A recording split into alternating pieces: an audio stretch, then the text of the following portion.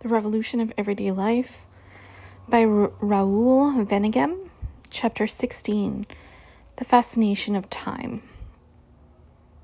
People are bewitched into believing that time slips away, and this belief is the basis of time actually slipping away. Time is the work of attrition of that adaptation to which people must resign themselves so long as they fail to change the world. Age is a role, an acceleration of lived time on the plane of appearances, an attachment to things. The growth of civilization's discontents is now forcing every branch of therapeutics towards a new demonology. Just as, formerly, invocation, sorcery, possession, exorcism, black sabbaths, metamorphoses, talismans, and all the rest were bound up with the suspect capacity for healing and hurting. So today, and more effectively, the apparatus for offering consolation to the oppressed medicine, ideology, compensatory roles, consumer gadgetry, movements for social change serves the oppressor and the oppressor alone. The order of things is sick. This is what our leaders would conceal at all costs. In a fine passage of the function of the orgasm, Wilhelm Reich relates how, uh, how after long months of psychoanalytic treatment, he managed to cure a young Viennese working woman. She was suffering from depression brought on by the conditions of her life and work. When she was recovered, Reich sent her back home. A fortnight later, she killed herself. Reich's intransigent honesty condemned him, as everyone knows, to exclusion from the psychoanalytic establishment to isolation, delusion, and death in prison. The duplicity of our neo demonologists cannot be exposed with impunity. Those who organize the world organize both suffering and the anesthetics for dealing with it. This much is common knowledge. Most people live like sleepwalkers, torn between the gratification of neurosis and the traumatic prospect of a return to real life. Things are now reaching the point, however, where the maintenance of survival calls for so many analgesics that the or- organism approaches saturation point. But the magical analogy is more apt here than the medical.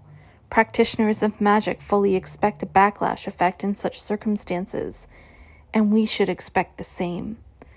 It is because of the imminence of this upheaval that I compare the present conditioning of human beings to a massive bewitchment.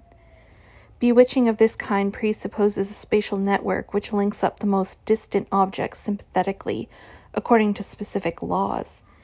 Formal analogy, organic coexistence, functional symmetry, symbolic affiliation, etc.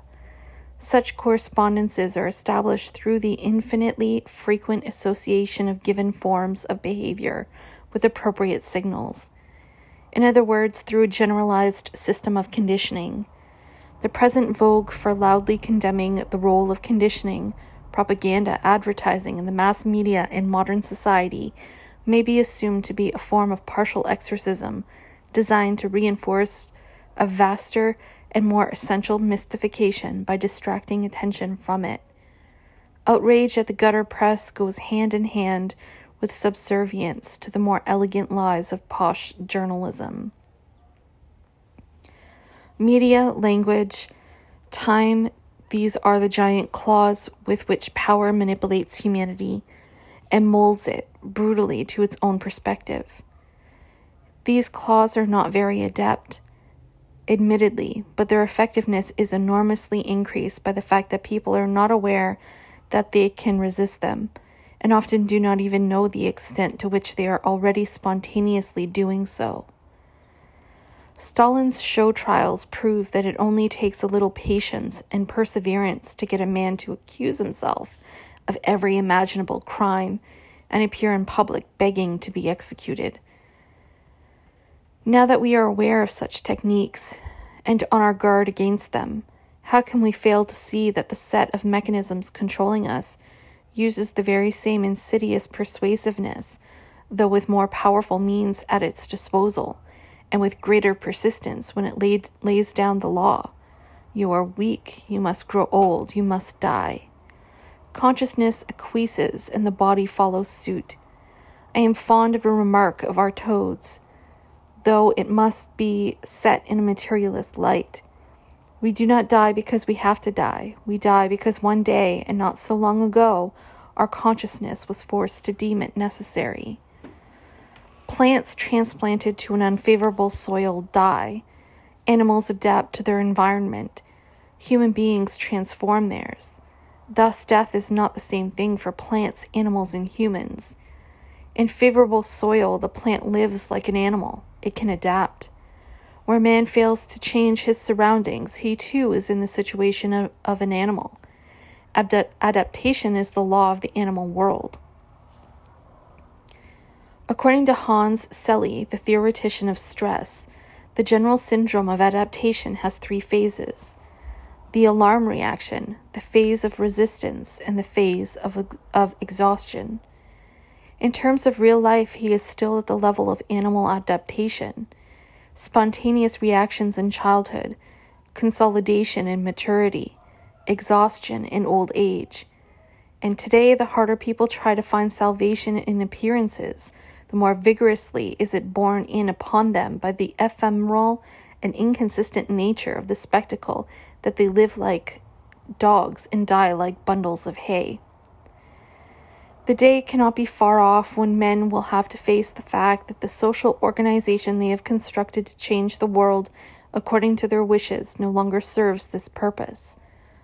For all this organization amounts to is a system of prohibitions, preventing the creation of a higher form of organization and the use therein of the techniques of liberation and individual self realization, which have evolved throughout the history of privative appropriation of exploitation of man by man, of hierarchical authority. We live in a closed, suffocating system. Whatever we gain in one sphere, we lose in another.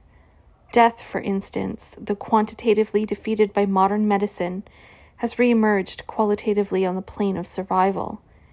Adaptation has been democratized, made easier for everyone, at the price of abandoning the essential project which is the adaptation of the world to human needs. A struggle against death exists, of course, but it takes place within the limits set by the adaptation syndrome.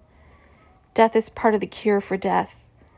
Significantly, therapeutic efforts concentrate mainly on the exhaustion phase, as though the main aim were to extend the stage of resistance as far as possible into old age. Thus, the big guns are brought out only once the body is old and weak, because, as Reich understood well, any all out attack on the attrition wreaked by the demands of, ad- of adaptation would inevitably mean a direct onslaught on social organization, i.e., on that which stands opposed to any transcendence of the principle of adaptation. Partial cures are preferred because they leave the overall social pathology untouched but what will happen when the proliferation of such partial cures ends up spreading the malaise of inauthenticity to every corner of daily life? And when the essential role of exorcism and bewitchment in the maintenance of a sick society becomes plain for all to see? The question, How old are you? inevitably contains a reference to power. Dates themselves serve to pigeonhole and circumscribe us. Is not the passage of time always measured by reference to the establishment of some authority or other in terms of the years accumulated since the installation of a god, messiah, leader, or conquering city? To the aristocratic mind, moreover, such accumulated time was a measure of authority. The, the prepotency of the Lord was increased both by his own age and by the antiquity of his lineage. At his death, the noble bequeathed a vitality to his heirs which drew vigor from the past.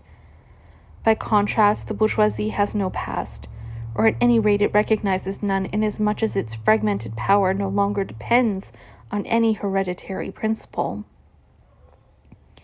The bourgeoisie is thus reduced to aping the nobility.